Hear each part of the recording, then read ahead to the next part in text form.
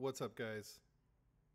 Jeremy Clark here, aka Mr. 66 USA on Twitter, and I'm coming to you from the Crypto Cartel Discord. And I just wanted to show you guys how I use uh, Bookmap to find uh, to read the tape for tape reading in level two. So you can see right here I've got my Bookmap up, and let's just make sure this drawing app is on. Okay, so what you have here is a heat map, and if you can see at the top, we have these iceberg uh, large orders, especially the red ones. Um, those are controlling price, so they are keeping price. Um, it's not going to go above these orange orders, at least for the time being. It's not going to go below these uh, these red orders down here. And what I look for is uh, similar prices in the cam pivots. So going over to trading view, uh, let's see, we've got a orange large order around 22, 23, something like that. So I'm just going to mark that right here, 23. And then down here at 22, 740, and again at uh, 22, 680. So right around, right around here.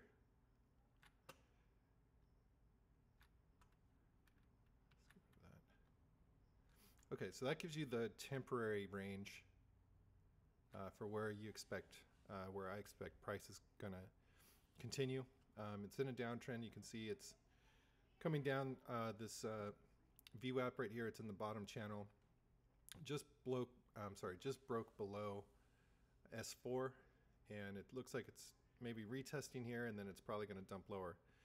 So uh, what I would look for on Bookmap is uh, I would look for price to start being manipulated down and you would start to see these orders getting pushed lower, the large orders, and you would start to see these orders down here getting pushed lower. And then just to show you the market depth, um, let's move this in here. So I'm looking for an imbalance. And right now you can see that price is taking place right here on the bid and the ask. And this is the um, the quotes delta, I believe, is this uh, what this channel is called.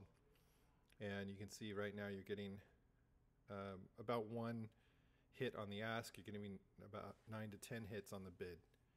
So that by itself would probably be pulling price lower. I also look for the market depth. I'm looking to see if the imbalance is weighted to the upside or the downside. So right now it looks a little balanced, but this red zone should start to outweigh the green zone or vice versa. And when it does that, that's what I'm looking for to enter trade. So over here we have the current quotes counter. And you can see that price is taking place uh, right here kind of in the middle, this gray box and this quotes counter is showing you that there are quotes stacked to the upside uh, on the ask. These could be sell orders. These could be people looking to buy in higher. They could be stop losses. And then there's orders stacked on the bid down below. So I'm looking for one of these to outweigh the other. And currently, at this moment, uh, it looks like it's weighted a little bit to the upside. So the amount of green orders taking place near the bid and the ask is slightly outweighing the orders up above. Now, uh, I'm also looking at the market depth, which is this box over here. And now you can start to see that, yes, there is a little bit of weight to the sell side. Um, you can see that the red cells are starting to push the green uh, the green buys down. So in a situation like that, uh, I'll be looking at the volume, which is these volume dots that you see right here. And the green are people that are buying on the ask, which is the highest sort of uh, agreed upon fair value price. The red are are selling at the bid. These are people that are exiting their trades, whether they're taking profit or they're just getting out for whatever reason. And you can see on the heat map where the larger orders are kind of stacked up. You can see there's some there, some there.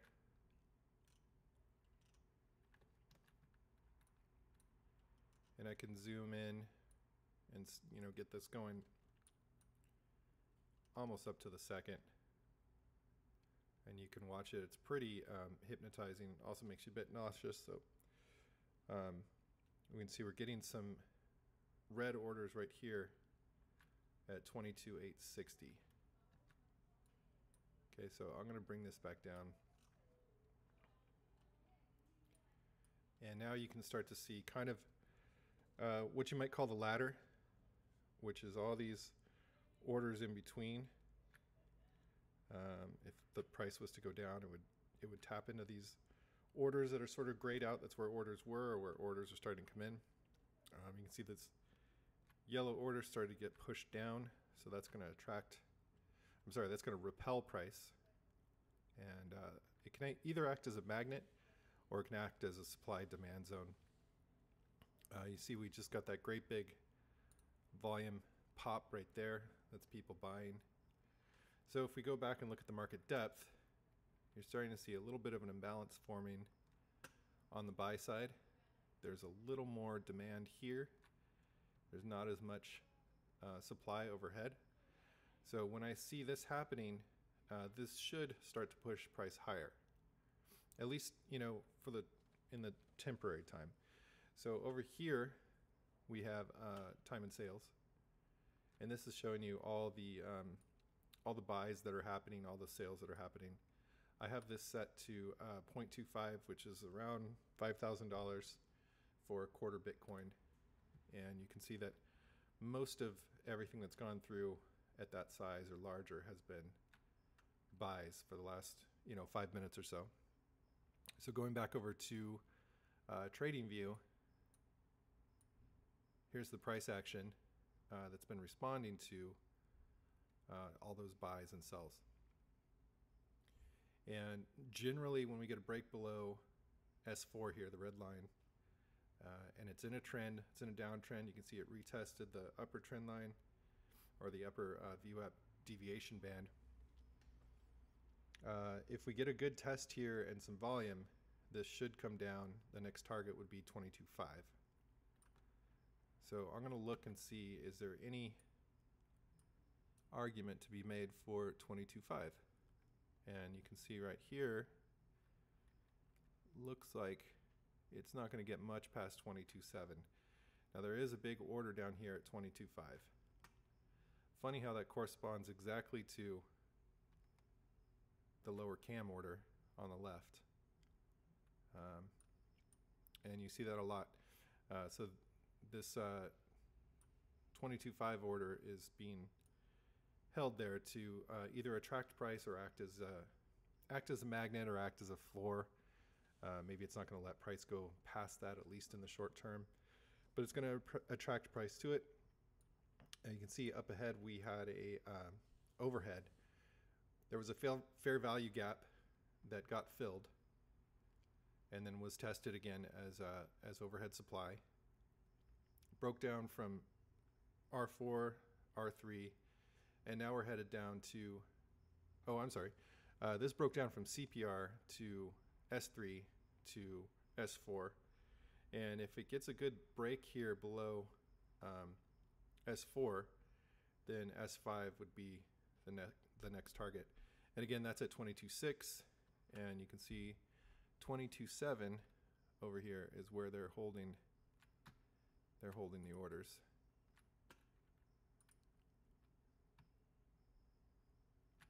And you can see a great big batch of orders right there, a few more underneath. So that area 22.7 to 22.5 which is roughly from about here to here to here, or here to here, I should say. Um, that is that is going to attract price down to this cam pivot, which is S5. Once it gets there, um, we can watch for more more clues. Uh, are they going to bounce it, or are they going to keep uh, keep keep dipping? So uh, if I zoom in really tight here, let's get all the data and information that I can. Um, you can see there's quite an imbalance to the market depth to the sell side. So that to me is a very good indication that price is probably going to keep dropping. And again, it's in this lower deviation of VWAP, and we have this uh, cam pivot S6 that's acting as a, as a lower support. We've got, I'm sorry, S5 and S, S6 are both in play. And then if you look below, there's a great big fair value gap. And so my guess is that uh, it will at least come down and, and touch this and probably bounce off of it. Uh, if it starts to fill, you know, that's a good drop, 22.3 to 21.8. Um, but I'm doubtful that that's going to happen. I think that'll just act as a uh, lower support zone. One other thing I should mention on the cams, if we just take a look here. So the um, the width of the, the cam range can tell you if it's going to be an inside day or if it's going to have potential to break out. And as you can see, yesterday's, let's just get that draw tool going. Uh, yesterday's cam was about that wide, and today's, get that drawing tool again. Okay, well that doesn't want to go, but uh, you get the idea. I'll just draw it for you with the regular arrow here. So from uh, S4 to R4 of yesterday was about that far, and from uh, S4 to R4 today is only about that wide. So that tells me that there is potential for a breakout. Um, this is already tapped into this uh, fair value gap, so that means it was coming coming down, and it came up into it and tested it, and that's a lot of overhead supply that's now ready to be distributed, and that's what's happening here. It's being distributed. So again, if we get a good break here, I usually look for a five minute uh, break breakout or breakdown uh, below S4 on volume uh, to signal an entry. And I'd like a good retest of that line and then a good signal that it's either going to break or it's going to hold. And you can see it's kind of consolidating right here. So sometimes it'll come down to this and then that'll be the turnaround signal and it'll go back up. So you kind of have to wait and see. But again, if we're just looking at the level two, um, level two looks good to go as far as going short quite a bit more weight to the upside. Not nearly as much demand to the downside. Uh, you can see prices, the bid and the ask are taking place pretty high up here. Um, we are starting to get some demand down here. So if this gets larger, it, it would have the potential to start pushing higher.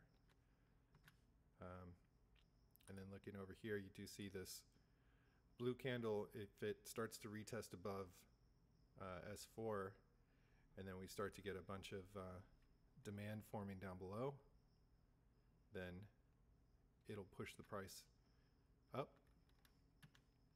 Uh, vice versa, you can see, you know, we've got a lot of orders up ahead or overhead and not nearly as many orders down below. So that will tend to continue pushing price lower. So for now, I'm guessing this goes lower, and I'd like to see a good uh, entry signal right here off of S, S4 um, to go short.